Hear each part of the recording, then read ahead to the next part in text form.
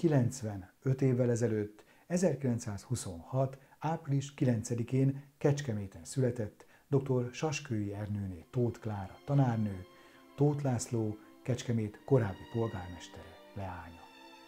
Gyors és gépírás szaktanítói oklevelet szerzett, azután 1945-től 1992-ig a Kada Elek közgazdasági szakközépiskola tanára volt.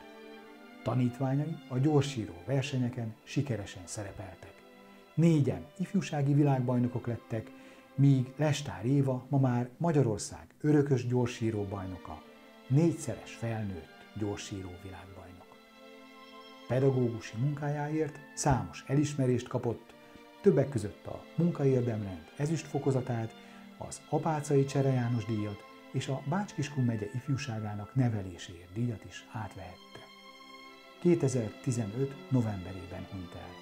Néhány hónappal később, születésének 90. évfordulóján tiszteletére emléktáblát avattak a Kada iskola aulában.